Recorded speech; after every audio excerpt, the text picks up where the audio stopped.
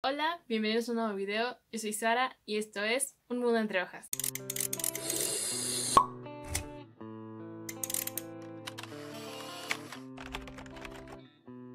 Hola chicos y chicas, ¿cómo están el día de hoy? Espero que excelentemente bien. Y bueno, em, eh, me doy cuenta que hace mucho que no traigo recomendaciones o libros que eh, valen la pena el tiempo de leer y comprar. Así que les traigo mis cinco recomendaciones de los especiales de la hora del viento que vienen siendo mis favoritos hasta el momento. Así que vamos a empezar. Primero, ¿cuáles son los especiales de A la orilla del viento de Fondo de Cultura Económica? Existen los normales, la colección de A la orilla del viento, que son estos, vienen enumerados y el lomo puede ser verde, morado o azul en distintos tonos. Después están los especiales de A la orilla del viento que son de pasta dura y no todos los tamaños son igual, iguales. Hay unos más grandes, otros más chicos y son muy diferentes porque la ilustración está a color. Así que con este detalle les voy a enseñar mis cinco favoritos.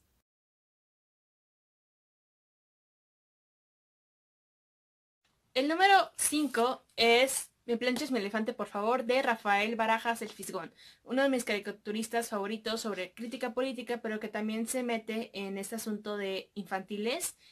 ¿Qué les digo? Su ilustración es muy, muy em, detallada y retracta la personalidad de sus personajes en el dibujo. Tan solo con ver la portada sabes que este libro va a tener humor tiene un humor muy cómico, muy infantil, eh, muy para todo público, yo creo. Entonces, este trata sobre un niño que no sabe decir que no. El, no saber decir que no le trae muchísimos problemas que a la larga va a aprender a decir a qué va a decir sí y a qué va a decir que no. Entonces es magnífico, Rafael Barajas el Fisgón y todo lo que él hace. El número 4 es Ícaro en el corazón de Dédalo, ilustrado por Gabriel Pacheco, uno de mis ilustradores favoritos porque es completo arte todo lo que hace. Y texto por Chara Lozani.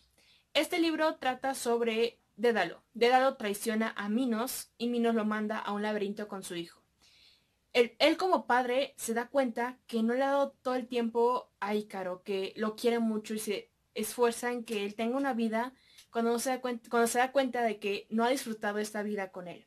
Es un libro precioso desde la perspectiva de un padre y de cuánto amor le tiene a su hijo. Eh, que les digo? Es arte, em, el tanto el texto como la ilustración. Entonces, este se volvió uno de mis favoritos del año pasado y lo sigue siendo hasta ahora. Entonces, de verdad, corran y cómprenlo si les gusta este tipo de historias. El número 3 es Un hombre de mar, escrito por Rodolfo Castro, e ilustraciones de Manuel Monroy.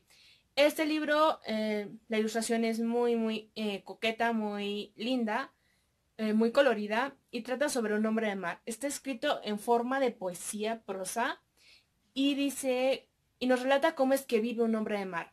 Un hombre de mar es el que tenemos todos dentro, que a veces tenemos altos, a veces tenemos bajos, a veces no queremos saber nada y a veces queremos tener una calma como el mar. Entonces creo que es este sentido de ideología sobre la vida relacionado con la metáfora de la playa y el mar, entonces es magnífico. El hombre de mar se tatúa sus sueños en la piel porque no quiere olvidarlos, quiere tenerlos presentes y saber que los quiere cumplir y los va a cumplir. Entonces es magnífico. Eh, como les digo, la, la, forma en que está escrita, la forma en que eh, la ilustración pues, depende del texto, y hace todo un viaje placentero. Entonces vale muchísimo la pena tener este libro en tu libro. El segundo libro es Nosotras, Nosotros. Y tal vez no les sorprenda, pero es que este libro es magnífico y he hablado muchísimo de él. La escritora es magnífica, la ilustradora es magnífica. Es un álbum ilustrado donde el texto depende del dibujo y viceversa. Me encanta el estilo de Valeria Gallo, eh, me encanta la forma de narración de Ana Romero y es magnífico, un libro que todos deberíamos de leer porque la época en la que estamos, em, tenemos que destacar que todo debe de ser una igualdad de géneros. Em, y que ha sido una lucha, un desarrollo histórico por detrás que todavía no hemos acabado. Y que este libro nos recuerda que muchas personas han peleado por los derechos de hombres, de mujeres, y hay que romper con esos estereotipos de que los hombres no pueden usar color rosa, no pueden usar falda, no pueden llorar, o que las mujeres no pueden salir de su casa, no pueden estudiar porque deben de estar en la casa. Eso es magnífico y es un libro que te retuerce completamente por dentro. Y el primer lugar es para un libro que ya les mostré en el wrap up del mes de mayo y es magnífico y se llama Es así por Paloma Valdivia. Cuando ves la portada es magnífica, es muy linda, muy coqueta y te retuerce por dentro porque es muy muy bonita, muy adorable y tiene un estilo único de ilustración. Claro que sí, no lo he visto en otro tipo de libros.